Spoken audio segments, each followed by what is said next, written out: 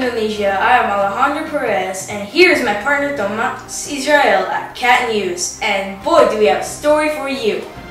Well, today we will be focusing on the Lon- Lokon Empung volcanic eruption. Mm, This volcano erupted on the 10th of February 2012. Fortunately, more than 2,000 individuals were evacuated. Sadly, about 300 were killed. Volcanoes are caused by boiling magma rising in the eye of the volcano and eventually exploding and pouring out the opening. Now over to our reporter Cyan Weinberg, who is at the scene. Thanks guys. As you can see, the Lokon Empung volcano is right behind me. The volcano is rated a 3 out of a maximum 4 alert. The ash has reached a height of 2 kilometers and the lava is red hot. Back to you, Alejandro. All right.